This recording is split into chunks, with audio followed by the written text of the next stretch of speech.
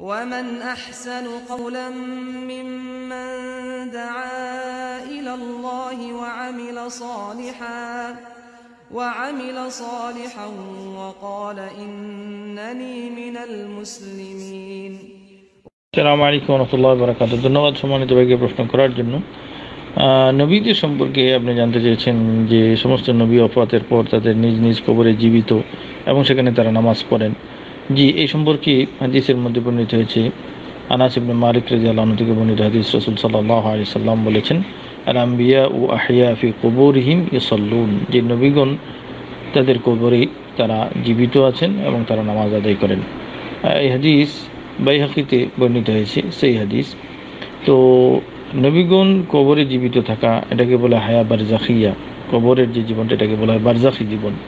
যে জীবনটা দুনিয়ার জীবনের চেয়ে ভিন্ন। দুনিয়ার জীবনের মতো নয়। ওটা আলাদা একটা জগৎ, আলাদা একটা জীবন। এটার সাথে দুনিয়ার জীবনের কোনো মিল নেই। আমাদের জীবনের সাথে কবরের জীবনের কোনো মিল নেই। সেটা আলাদা একটা জীবন এবং সেখানে তারা নামাজ পড়েন।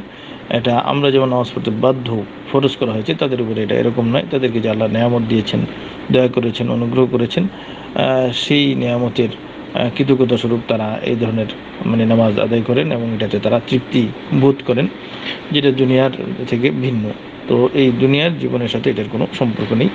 কিন্তু অর্থের দিক থেকে, শব্দের দিক থেকে কথা ঠিক আছে যে তারা জীবিত এবং সেখানে নামাজ পড়েন। কিন্তু জীবিত বলতে দুনিয়ার জীবনের মতো জীবিত নন। সেটা বারজাখি জীবন, সেটার অবস্থা সম্পূর্ণ ভিন্ন।